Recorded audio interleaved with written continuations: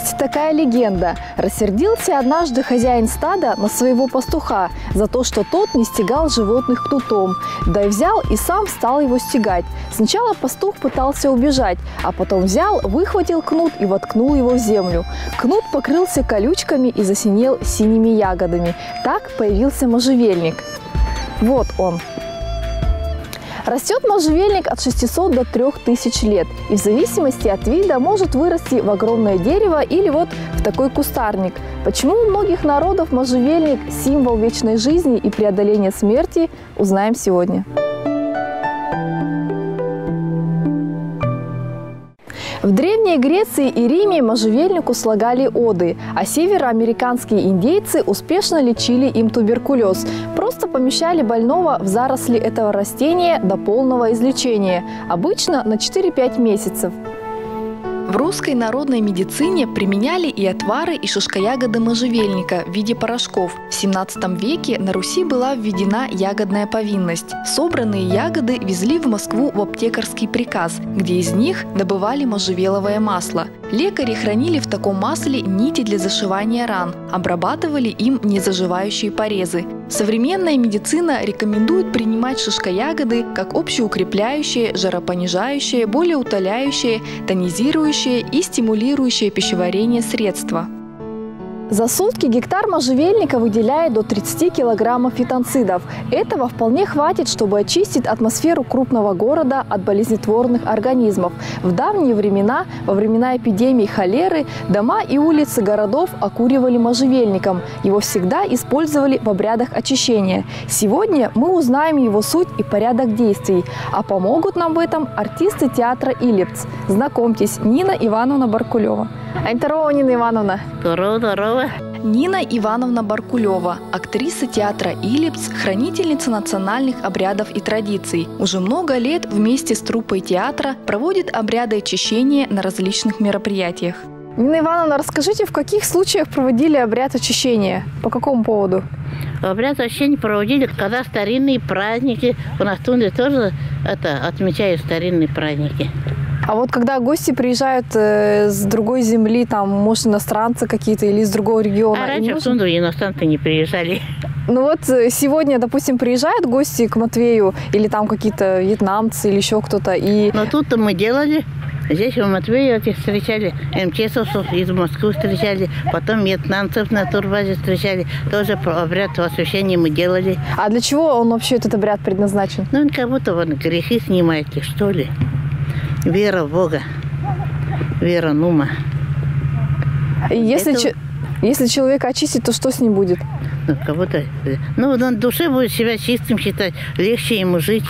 Словари дают такое определение обряда – совокупность условных традиционных действий, лишенных непосредственной практической целесообразности, но служащих символом определенных социальных отношений, формой их наглядного выражения. Этнокультурный центр округа уделяет много внимания сохранению традиционных знаний в культуре коренных народов и с удовольствием ими делится. Ежегодно в наш округ приезжают гости из разных регионов страны и мира. Каждая встреча начинается с обряда очищения. Например, недавний визит вьетнамской делегации в семейно-родовую общину тоже начался с обряда очищения. Это своеобразное приветствие и пожелание успешно провести время на Ненецкой земле. Южные гости с интересом и любопытством наблюдали за необычными действиями труппы театра «Илипц». Обряд наравне с национальной одеждой, кухней, танцами и бытом создает полноценную картину жизни ненецкого народа. В день эстафеты Олимпийского огня можжевеловым дымом встречали нарьянмарских и московских факелоносцев на удачу и успех в ответственном мероприятии. Каждый год 9 августа, в День коренных народов мира, представители ненецкого народа собираются у знака Хабидятен, чтобы почтить память предков,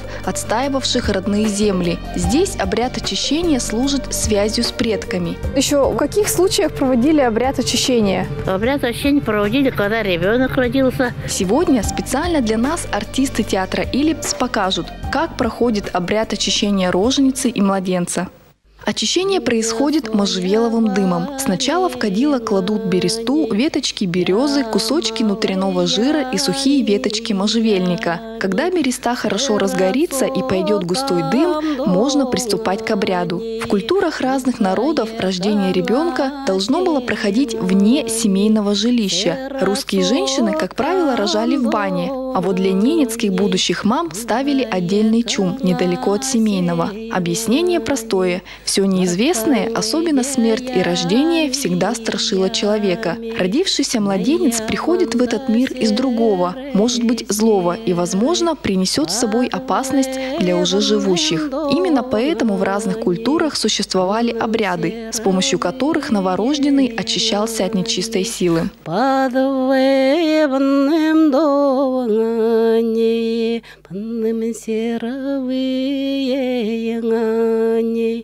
Я меня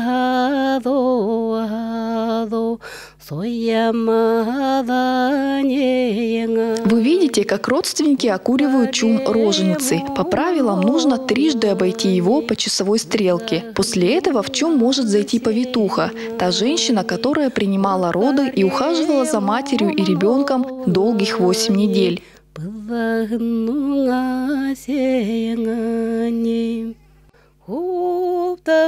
Именно она выносит ребенка, которого тоже очищают.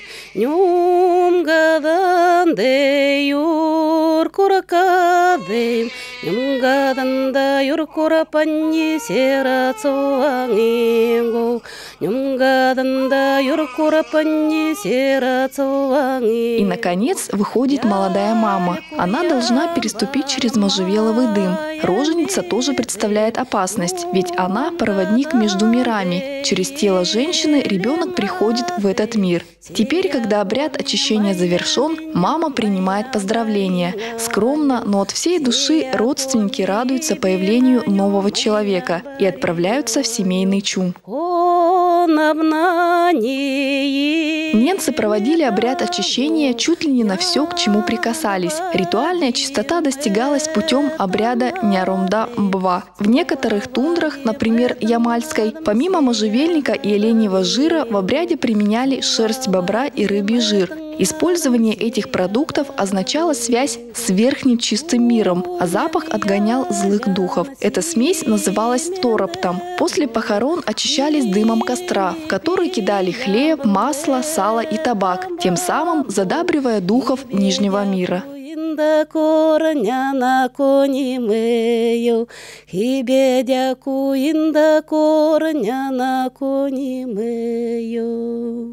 Вы сказали, что еще на, на большие праздники очищали. Вот еще, может, какие-то были, там, не знаю, во время похорон. Вот ничего такого не было? Во время похорон обязательно покойника освещали тоже. Ага, чтобы он мир иной ушел чистым, без грехов. Очищали, пока он на земле по, по солнцу ходит, три круга делает, а когда мы земле уже предадим, уже землей зароют, против солнца уже идут. Мы его земле предали. Ну, это только во время похорон. А вот когда, допустим, годовщина бывает или... Э, годовщина, кто как делает. Кто-то ходит, там девятый, сороковой день, годовщина тоже ходит. На кладбище ходят и тоже это обряд освящения дым, дымокадила делают. А если, допустим, у, у ребенка день рождения, там год исполнился, такое а делать? это я не замечаю, что делали. Делали. Особенно старинные праздники, какие-то крупные старинные праздники, обязательно мы делали. Угу. А вот вы откуда это все знаете? Вот э, это, это у вас в семье так делали? От мамы, от бабушек. В тундре крестили детей. В тундре не было этих батюшек всяких. В тундре вот старые люди, которые все понимали, они крестили детей, тоже обряд делали. Угу. И вы у них научились, оттуда все знаете? Да, когда надо в другое место кочевать. У нас, например, так было. Всех мужчин вот чум сломали, еще по саням сложили, утварь сложили по, чум, по, по саням. Потом мужчин, я видел, мужчины вот на одни сани садятся, их тоже вот, о, делают это дымом. Да. А женщины, каждая на свою сани садится, тоже вот так. Будто все на старом месте все осталось. Угу нечистая сила еще тут осталась. А вот когда приезжали на новое место, чем ставить это место? Тут уже не делали. Не делали. Я ни разу не видел, чтобы много лет я в Тунде жила, но такого не видела. Когда вот роженица родила, так уезжает со старостью, чем мы сейчас вот это дымом-то ходили, делали. Там про себя какие-то свои слова говорят, божественные. Э, А как узнать, что обряд совершен? Это можно как-то проверить, что человек очистился или что роженица очистилась? Как это? Ну вот а там трижды проходит, вот уже кого-то уже грехи сняты, очистился человек. Ну, то есть э, здесь никак не проверить. Тут это никак так. не проверить, никаких аппаратов нет. Спасибо большое, Нина Пожалуйста. Ивановна. Было очень интересно.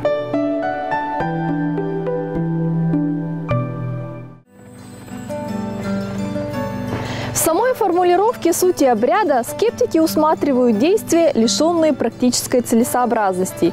Современные ученые с легкостью опровергают это утверждение. Сегодня здесь, в Можжевеловом дому, мы стали немножечко здоровее, и это замечательно. А еще у обрядовых действий есть одна важная задача. Они помогают сохранять культуру и традиционные знания. И все опять зависит только от нас. Увидимся. Лакомбой!